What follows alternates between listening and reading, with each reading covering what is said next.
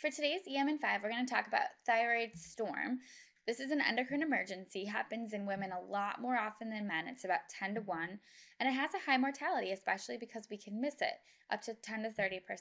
So, who are we looking for this in? It's patients who already have a history, some Graves' disease, adenoma, goiters. They might be taking exogenous medications or be on lithium, amiodarone, or maybe have autoimmune disease. And overall, the people that are high risk are those that are untreated for hyperthyroidism, undiagnosed, or non compliant with their medications. Then, in addition, we have to add a stressor.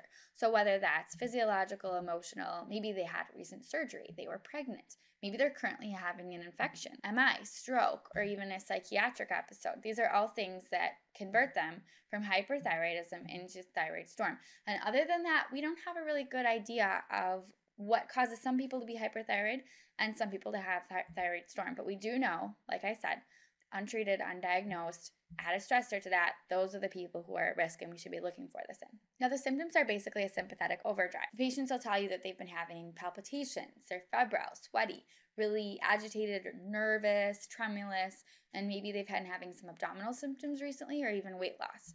When they come into the ER, they're going to be tachycardic, have a really high blood pressure with wide pulse pressures, so really bounding pulses.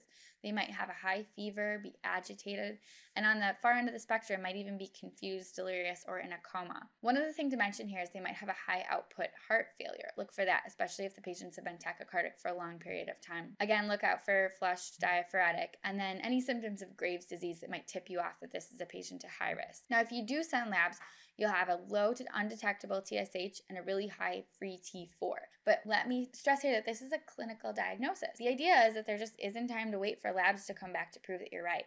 There's a couple of clinical predictive scales that can help push you in one direction or the other. But basically, this is the kind of thing that if a patient comes in who you're thinking maybe has sepsis, ask yourself why don't they also have thyroid storm? So it's a high clinical suspicion Remember that it might be both. These patients need a stressor a lot of times to flip them over into thyroid storm. So they might be septic and have thyroid storm. And really try to avoid premature closure and cling to a diagnosis that you started with. So here's the pathway. We have the hypothalamus that makes thyrotropin releasing hormone, which goes to the pituitary, which releases thyroid stimulating hormone, which goes to the thyroid that makes T4 converts peripherally into T3 and goes to the tissues to activate. So, for treatment, we have three goals of things that we need to block in this pathway. First, we need to block the production and release of the hormone. We need to block the peripheral conversion of T4 to T3. And we need to block the sympathetics peripherally that are going crazy with this high thyroid hormone. Lastly, we need to address that precipitating event. Here's the four medications you're going to use to block these pathways. And we'll go through each of those, but let me also add we need to do supportive care. So for hyperkinesis, you can use benzos. They might benefit from cooling blankets if they're hyperthermic,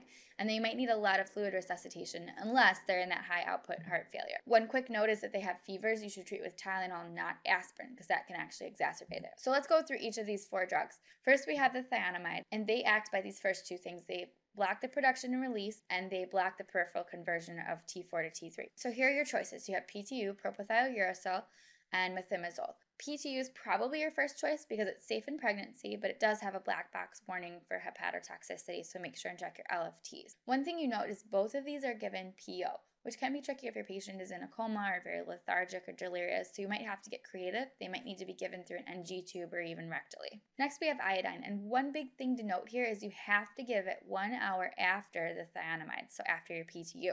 That's because iodine is actually a substrate in the production of the thyroid hormones, the T4 and T3. And so if you give it before you've blocked the production with your PTU, it's actually going to make the problem worse and you'll end up with more thyroid hormone. The way that iodine acts is to block the peripheral conversion of T4 to T3. These are your choices. You have the saturated solution of potassium iodide or Lugol's solution. This is actually kind of an interesting dosing. It comes in drops, and you actually add the drops to some juice or milk and have the patient drink it. Again, you might have to get creative if they're comatose. If they have an iodine allergy, as many of our patients do, you might have to think about giving lithium carbonate as your alternative.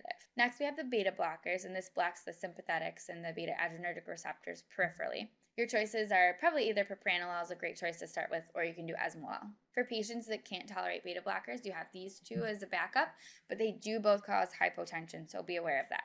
Lastly, we have the steroids. This also blocks the peripheral conversion of T4 to T3 and in addition boosts the hypothalamic pituitary axis. Your good choice is probably to start with our hydrocortisone or decadron. Now, lastly, we need to address that precipitating event. So, almost all patients with thyroid storm, you should probably be starting antibiotics on just in case.